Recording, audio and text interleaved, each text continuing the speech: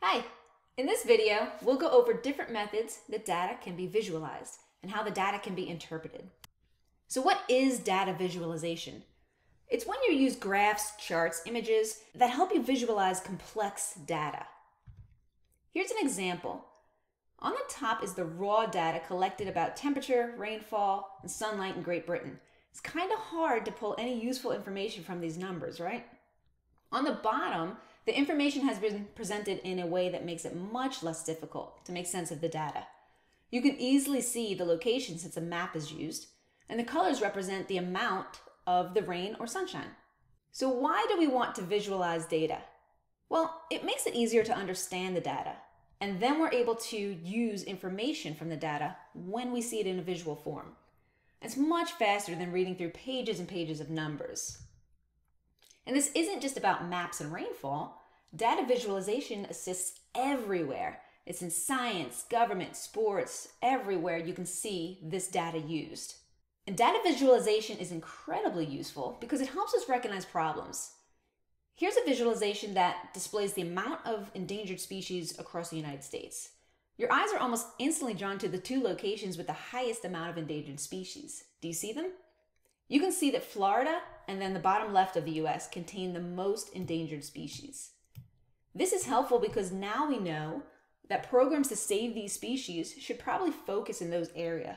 And data visualization has been around for centuries. You can even count maps and map creation as one of the first data visualizations. This is an example of a very early data visualization. This was created to track Napoleon's losses along his route. Now think back to this time period. See if you can actually picture Charles Joseph Minard creating this visualization. He probably had a table of values drawn out and he had to look at the value and then very carefully plot the points and make sure the distance between the points were uniform. He had to probably have a little bit of artistic talent. It had to take quite some time. There were no computers or database programs back then. It was all done by hand. In today's data visualization, we have come so far. We can process large amounts of data very quickly. We can even keep it updated so that it is current and always accurate. And then we can add interactivity as well. And this helps us blend science and art. It makes our visualizations very nice to look at.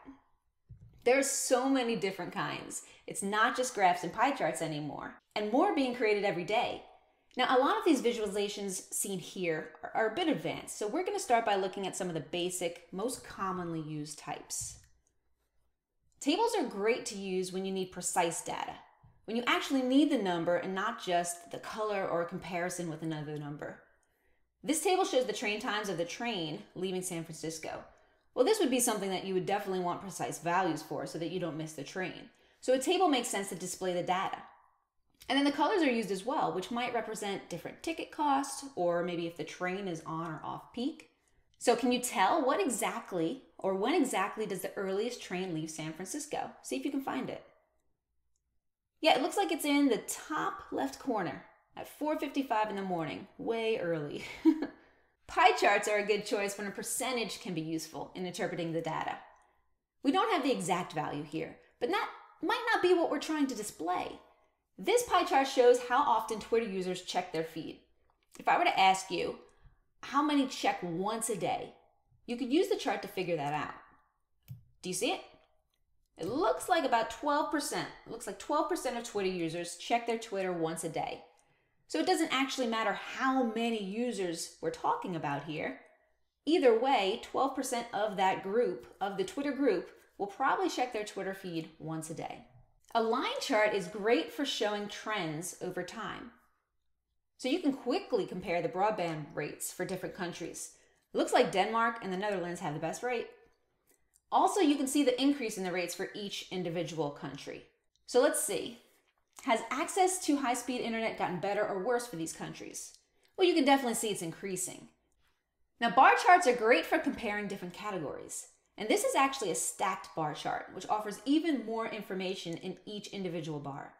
Now, at first glance, you might notice that the first bar is the highest. So Ethan and Joel Coen have the greatest number of award wins. Now, there are three colors in the bar, and if you use the key on the right, you can see that they've won awards for thrillers, dramas, and crime films. Now, what's interesting as well is the third bar from the left. Take a look at Steven Spielberg's bar. He may not have won as many awards, but look at all the different colors, all the different genres of film that he's won for. That's very impressive as well. So there's a lot of useful data from this visualization. A histogram is used too. This is great for showing the frequency of events.